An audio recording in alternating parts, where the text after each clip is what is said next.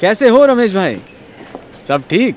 नहीं सिद्धार्थ भाई। हाँ? लगता है मेरा नया घर खरीदने का सपना सपना ही रह जाएगा। क्यों?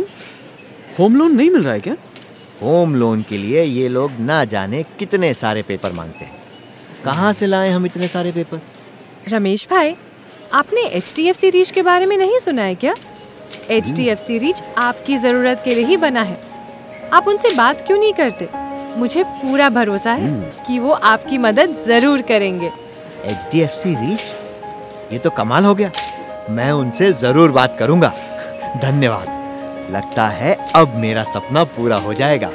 बिल्कुल रमेश भाई। H D F C home loans अपनी जगह बनाओ।